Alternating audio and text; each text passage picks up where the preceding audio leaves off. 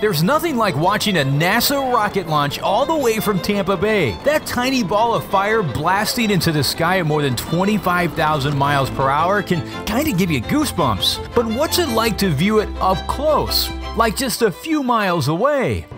Let's find out. Tampa Bay to the Kennedy Space Center. This is something the whole family will really enjoy, but today it's just me and my Jeep. A little rocket road trip. For most people around Tampa Bay, this is only about a two and a half hour drive. A quick stop to top off that tank. Most will get there and back on less than a full tank. Got my favorite drink and a snack, and I'm ready to hit the road. From our coast to the East Coast. From my little spot in Tampa Bay, Cape Canaveral is 153 miles, somewhere way Three, over there. two, NASA, here we come. And liftoff. As our own Tom Brady would say, let's go.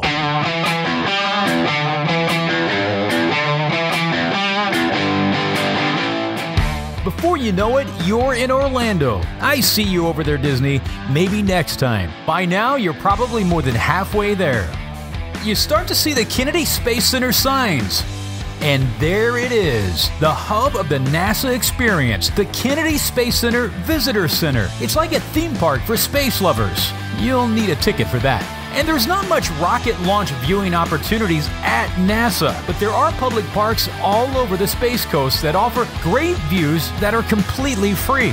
Right in the middle of it all, just about 12 miles from NASA's launch pads, is Space View Park in Titusville. The views here are right across the Indian River from NASA, parking is free, and there's even a public restroom. Some launches, especially when astronauts are on board, will get busy, so get your spot early. NASA also sits right on the beach, and while it's likely closed during the launch, Playa Linda Beach is separated from the NASA launch pads by only a fence. You should check this out before or after a launch. No matter what part of the Space Coast you decide to come watch a launch, once you're settled in at your viewing location, you can monitor the launch details with your smartphone. NASA, 10 Tampa Bay, and other sources will typically have information and live video feeds from the launch site heading up to and during the launch. You can also find all future launches at visitspacecoast.com forward slash launches.